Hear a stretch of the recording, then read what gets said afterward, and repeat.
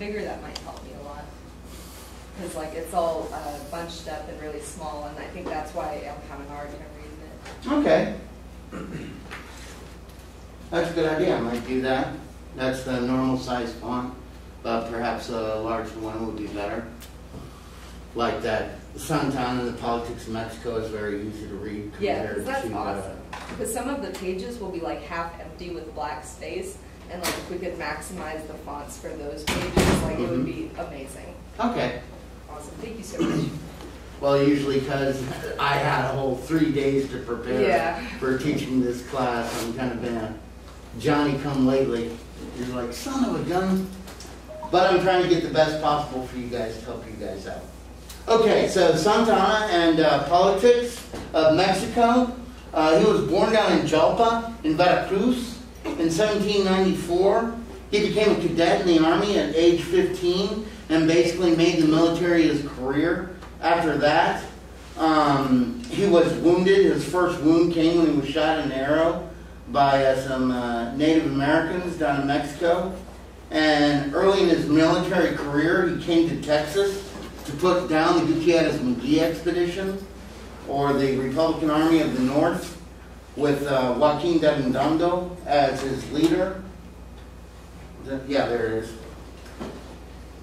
And in January of uh, 1832, well, in 1829, he retired for, he went from being the military governor of Veracruz to being its regular governor when um, it was pacified. And he got kind of bored of, the, of that, so by January of 1832, he convinces the military com- commander of the forces there to uh, lead his uh, garrison in a revolt against uh, Mexico and the president Bustamante. And they throw out Bustamante, and then Santa Anna is elected president April 1st, 1833. And even though he is a very astute politician, he's kind well, this just shows how smart he is, because when he wins the presidency, he doesn't assume the office. He lets his vice president, uh, Gomez Farias, or Valentino Farias, take the office of president to do all these liberal reforms. And once everybody kind of accepts the liberal reforms, then he'll come in and then he'll back out when more changes need to be made with having uh, Farias as uh, governor because basically he was really concerned about uh, the, the officials of the Catholic Church and other powerful officials in Mexico City that may not like, the liberal changes he's making, where he's giving more power to the states. Indeed, um, there's a modern example of that uh, in um, Saudi Arabia.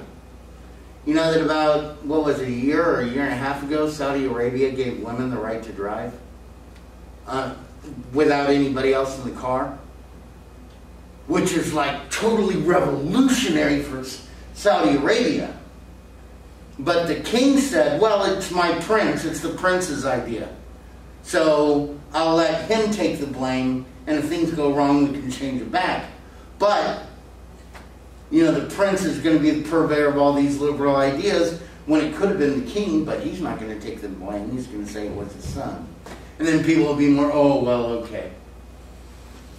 Well, finally, he has enough of it and replaces the liberal constitution of 1824 that uh, gave the um, gave all the federal reforms with the powers to the states, and he decides to become dictator because they had that one deal in the Constitution where the president could use emergency powers to consolidate all the power to himself. That's what he did. He replaced the Constitution of 1824 with the Siete Leyes, which basically gave uh, Mexico the DF extreme power over all the states. And of course, you had lots of states that were in revolution against this.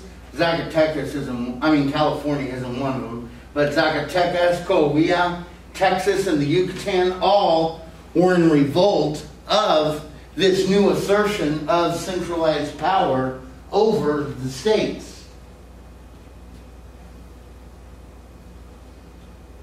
And so basically he had to go into Zacatecas, and basically when he put that one down, he let all of his soldiers uh, kind of just rape and pillage the capital city. After it was done, you're teaching them, hey guys, don't rise up against me. He, there's a civil war going on in uh, Coahuila, which was our sister state. And we're just, you know, letting it happen because nothing's ever happened to us. Here's Tejas and Coahuila. You can see Coahuila is very, very small. There's Tejas, that was the original size of Texas from the Nueces River up. It wasn't all the way down to the Rio Grande. And in a trip up here to check things out, uh, Colonel Juan Almonte, who was an investigator for Gomez Farias, he came up here to Texas and he found that everything was pretty good. Indeed, the settlements were prospering. The colonists seemed content. There was really no evidence of disloyalty. And in 1833 and 1834, the state government had been very beneficial to Texas. The law against any non native born Mexican engaging in merchandising had been repealed. So there were more opportunities now for the settlers. And instead of just having one deputy in the Mexican, uh, in the state Congress of Coahuila, we had three.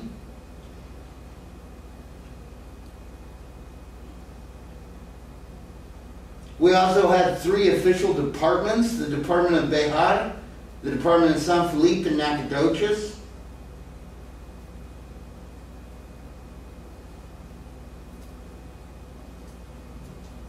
English was actually recognized as an official language for official purposes.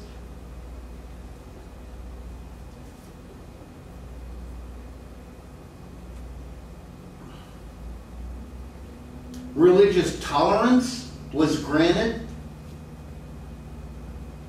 for the settlers of Texas.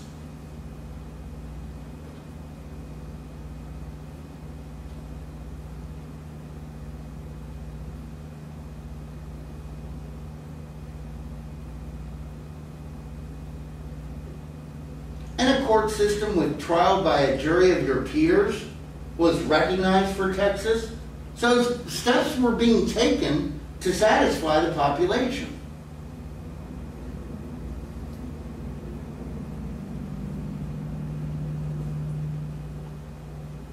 But is everything okay? No. Why? Because there's trouble in the state government that's developing. A quarrel between Saltillo and Monclova over which one was to be the correct capital of Coahuila.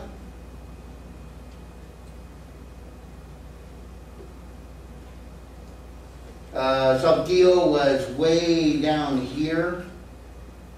Monclova was much further to the north, which would have made it much more convenient for rule over Tejas as well as Coahuila.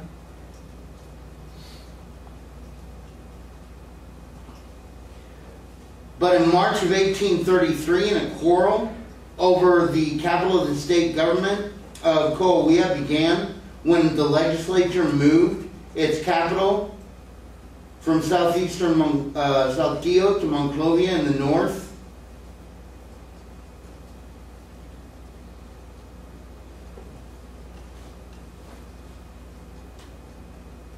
Well, in response to this, uh, there's kind of a hub rebel government that stays in operation at Saltillo.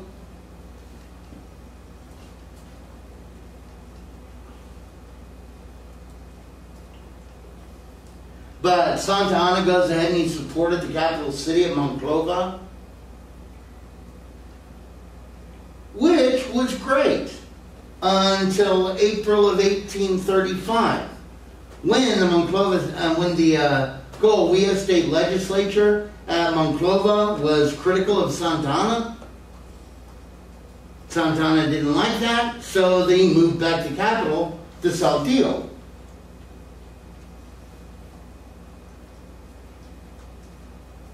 And he sent his brother-in-law, Martin Perfecto de Cos, up there to break up the government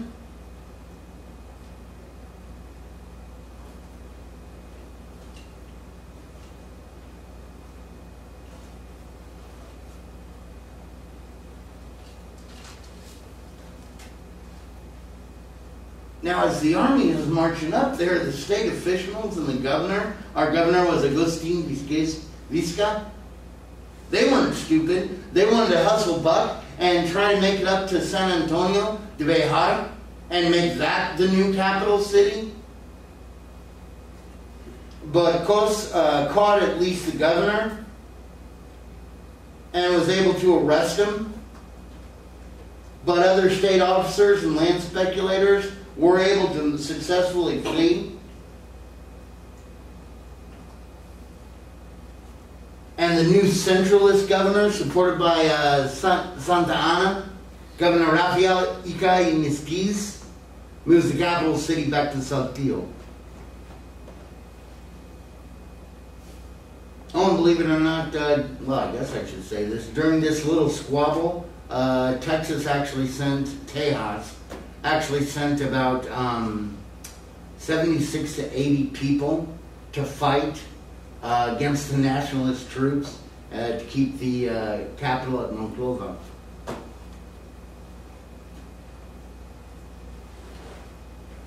Oh, and by the way, you know why Texas is a Lone Star state? Here's our state flag.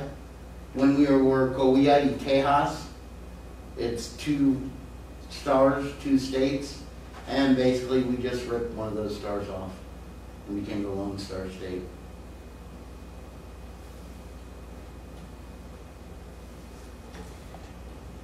Now, guys, with uh, everything kind of settled down, or pacified in the revolting process, uh, province of Coahuila, he's pacified Zacatecas, he pacified Coahuila. Guess who's next on Santa Anna's hit list? Texas. Because he wants to exert authority over Tejas once again. And in January of 1833, 1835, excuse me, Santa Anna sent a small detachment of soldiers to Anahuac to enforce the collection of customs and tariffs in Galveston.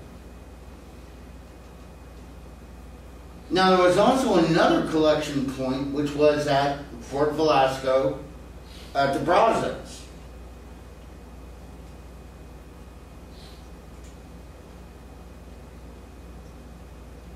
And the collector at uh, Velasco on the Brazos collected tonnage duties only.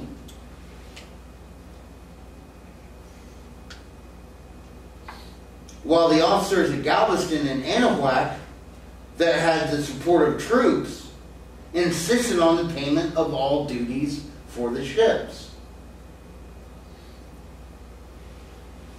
Now, Andrew Britt, there's Martin Perfecto de Cos, there's Andrew Briscoe, who was a merchant, thought that this was totally unfair, and they demanded that no more connections could be made at um, that port until collections were uniform in all areas of Texas. There's a subsequent fisticuffs with the Mexican soldiers. In which a Texan was wounded and Briscoe and another citizen were in prison.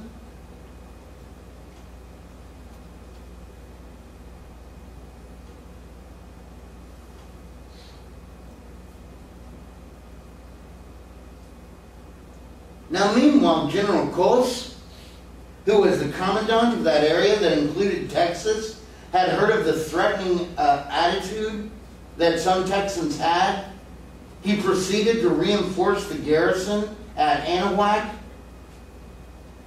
And he wrote a letter to uh, Captain Antonio Tenorio, the commandant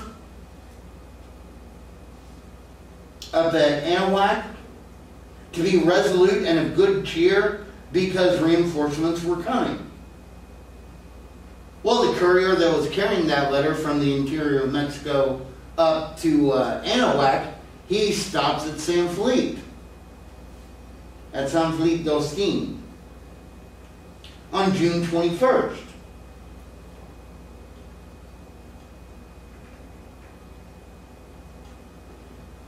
I remember during this time, uh, Stephen F. Austin isn't in Texas. He's getting out of prison down in Mexico City making his way back up here. Well, the war party is San Felipe. They capture this uh, courier and they take the message.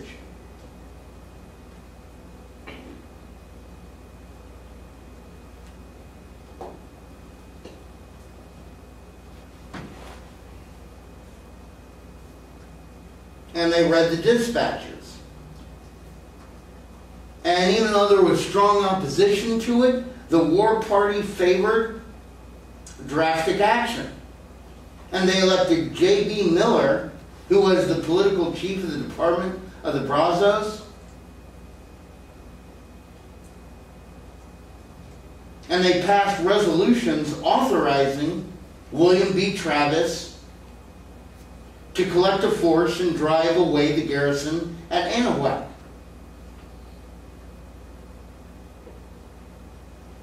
So he gets about 20 to 30 men.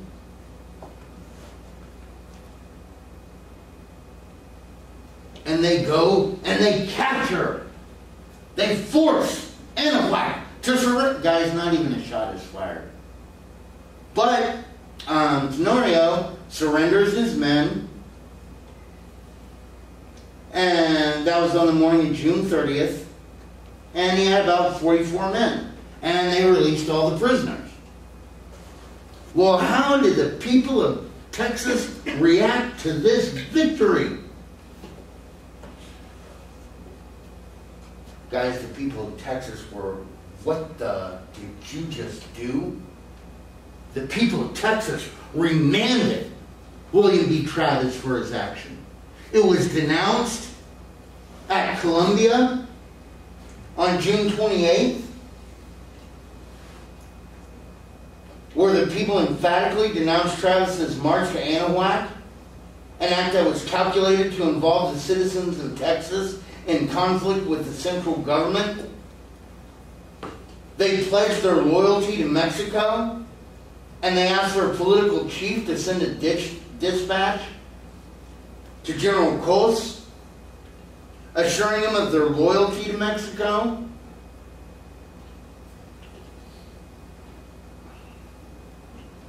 At a meeting at San Felipe on July 14th and 15th, they passed similar resolutions.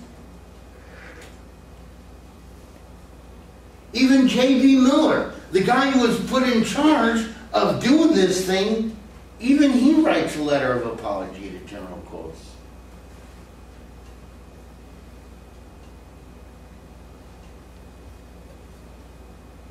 Now, why do you think all these guys were saying you apologize, man.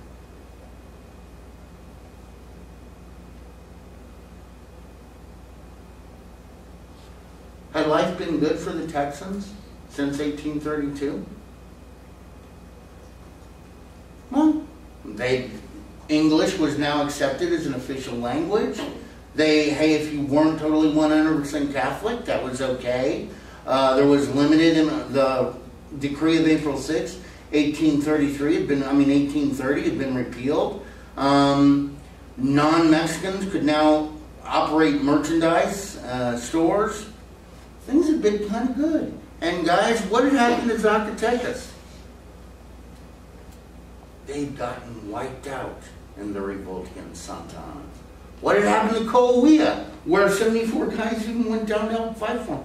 Guys, they got slaughtered. All right? This guy, you're ruining a good thing. chill out, don't do it. And guys, by this time, of course, he wasn't really in a mood to forgive us. He was pretty tired of it. Indeed, he immediately issued an arrest warrant for Lorenzo de Zavala. Now, if you remember that name before, he was basically a landman that was out in East Texas, but before he had been there, he was originally born down in the Yucatan. And he had been a verbal critic of Santa. A lot of people didn't like him that were with Santa and the Centralist Party.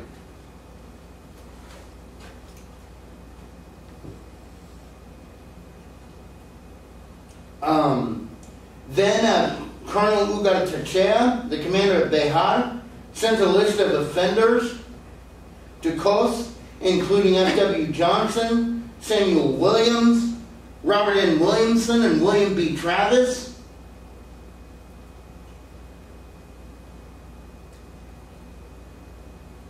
And General Cos insisted that the colonial officials arrest these men and turn them over to the military without trial.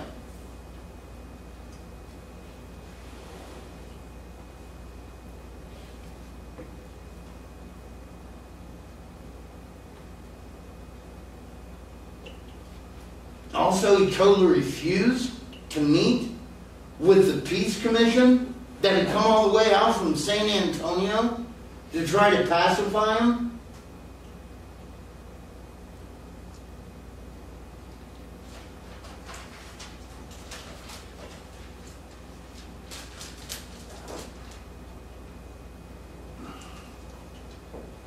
But uh, turning over these citizens to a uh,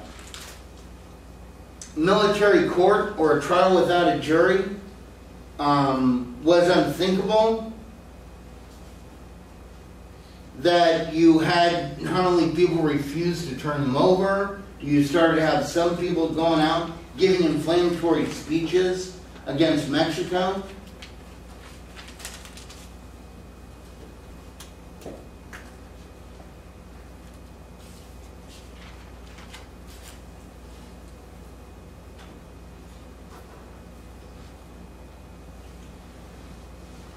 Just like in the American Revolution, committees of correspondence that spread information on the movement of enemy troops began to arise in Texas. I mean, if these things hadn't been formed, there would have been no way that we could have kind of been able to have ruled ourselves or to have carried out military maneuvers. The first committee of correspondence is established at Mina.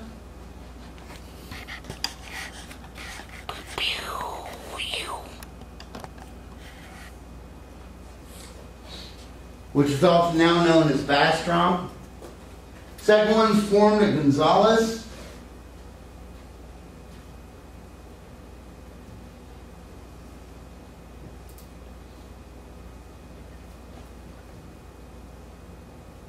And before the end of the summer, nearly every precinct had such an organization.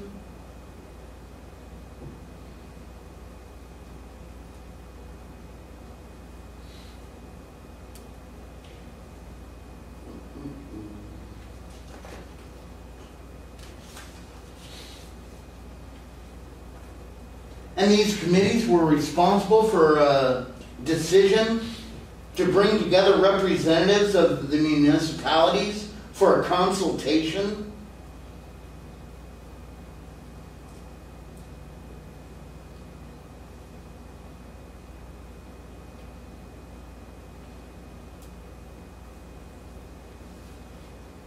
That was to be held at Washington on the Brazos on October 15th.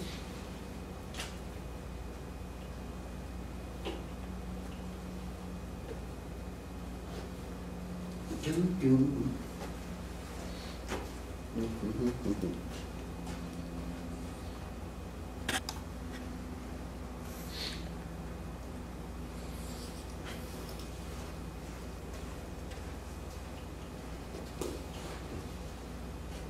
Now, what was the purpose of this consultation? Uh, basically, the only instructions, this is what they had to decide.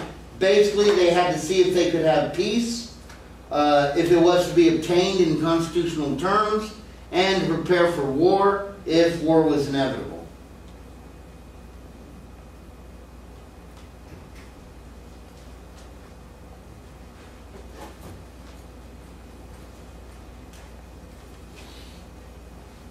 So guys, we're starting getting ready to be prepared to have to go to war, should that be the cause.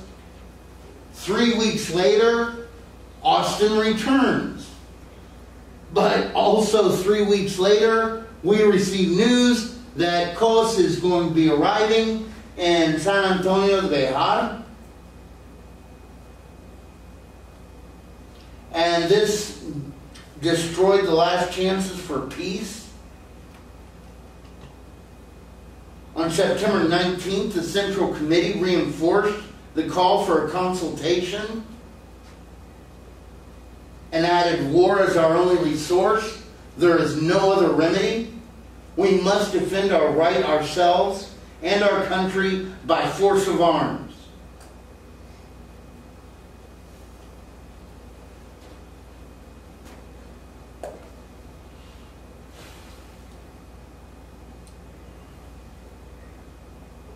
So, guys, maybe not everybody, but some have decided what's going to have to go down in Texas.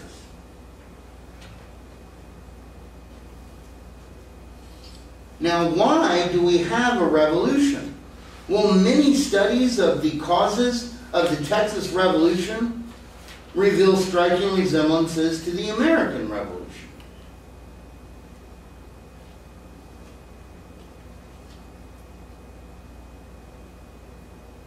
I mean, in both uh, instances, it can be traced to a superior government asserting its authority after the colonists had learned to expect salutary neglect. Now, do y'all know what salutary neglect is?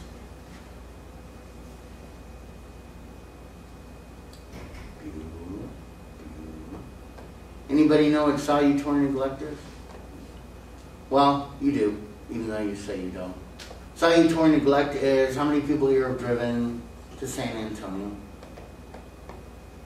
One? Only one person here? Nobody has been to Austin? Oh, two? But driven, not flown. Okay. So the speed limit the whole way is about 80 once you get out of town, right? Yeah. So nobody here has ever gone faster than 80? on I-35? I mean, not on I-35. No, but you can only go 80 miles an hour, right? Theory. But everybody's going 85, 87, 90, until, what? Until you see a cop. I've been driving. And cops know what the game is. And it's that's the period of salutary neglect. Where eh, it's, eh, we're overlooking the rules, we're overlooking the rules. You know, because remember, they didn't have to pay tariffs or anything up in Texas for the longest. And so they got used to kind of, all right, this kind of lax enforcement of laws. Uh, like I said, uh, customs duties and custom collectors played important parts in both stories. The Texans resented Mexican troops being quartered among them, just as the American colonials resented the British redcoats. So, were there any other reasons why we had um, a revolution here in Texas? Well, a lot of this is especially true in the modern world. A lot of people like to point to slavery. That oh, the only reason why we had um, Texas had a revolt is because basically it wanted to join the rest of the southern United States and give uh, slavery more power. Have y'all ever heard that kind of argument before? Yes? No? Maybe? Guys, that's not an old argument. First guy that came up with that argument was Benjamin Lundy, who actually visited Texas. This was a guy that William Lloyd Garrison, the guy who was the abolitionist that was big uh, right before and during and after the Civil War in fighting for the rights of the newly freed men. uh, he said Benjamin Lundy was the first abolitionist who gave his life for this cause. Um, basically, he decried, he was born to a Quaker family uh, in 1789. Uh, he believed that slavery was a huge problem. Um, he visited uh, Texas. He made three visits to Texas. Um, he concluded that Texas was an dot dot dot.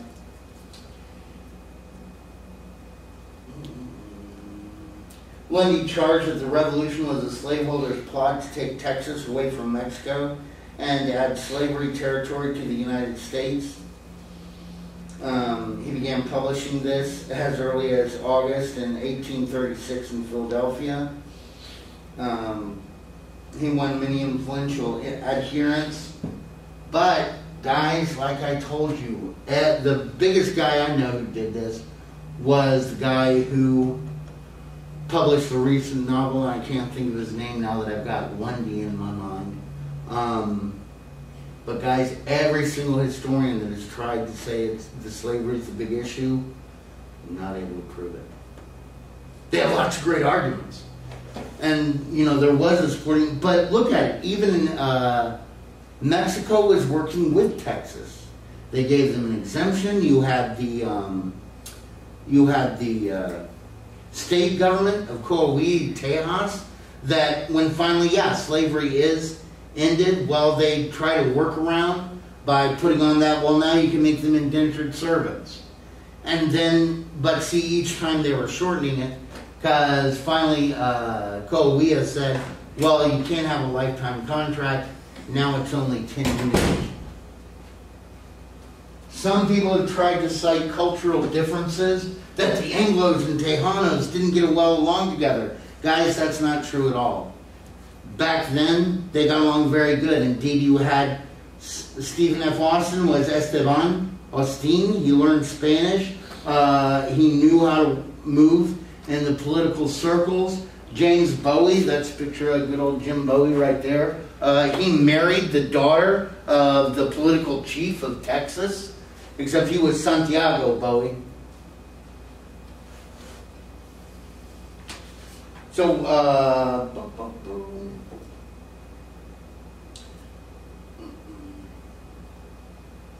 Um, uh, basically, back then, a lot of the animosity between Anglo-Americans and Tejanos did not exist. However, um, once the revolution started again, uh, ethnic differences made peaceful resolution unlikely. Uh, final explanation places the responsibility for the revolution on the failure of Mexico to establish uh, state and democratic governments a stable and democratic governments, a failure that led to unpredictability, tyranny, and dictatorship. These were chaotic years for Mexico, and Santa Anna's lust for power did bring revolution within many parts of Mexico, not just Texas. and many Texans lacking a basic faith that democratic government and tranquil prosperity was possible in the foreseeable future, made the decision for rebellion, revolution, and ultimately independence.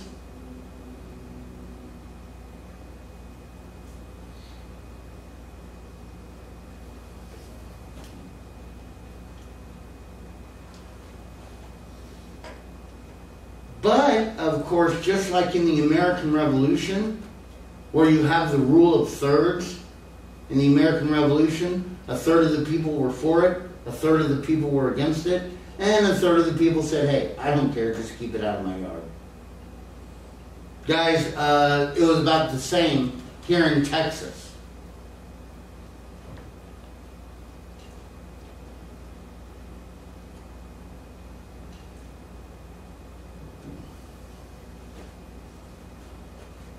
by the way, guys, Benjamin Lundy, because he was kind of an extremist for his time, that would treating his works would be like um, someone today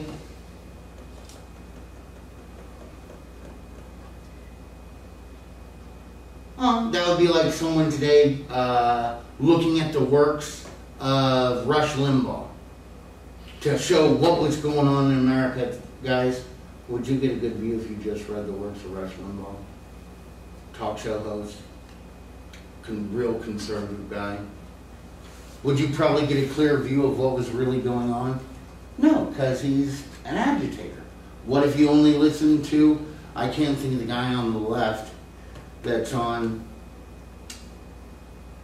who's a real, um, let's say Michael Moore. I don't even know if y'all know who Michael Moore is anymore. Who's Rachel Maddow? Do y'all know who Rachel Maddow is? A reporter for CNN or I don't never watch her, but or if someone got like if someone wanted to find out what was going wrong right now, they talk to like one of the protesters uh, up in Portland, or do you think they'd give a good holistic wide view of what was really going on, or would they be impassioned about their cause? That would kind of blind them to putting out what was really going on. That's about the same thing as Benjamin Lundy. Now, so guys, basically, uh, our next lecture is going to be about the Texas Revolution. We're in a kind of weird spot because, like I said, I did a whole documentary on uh, the first battle of the uh, Texas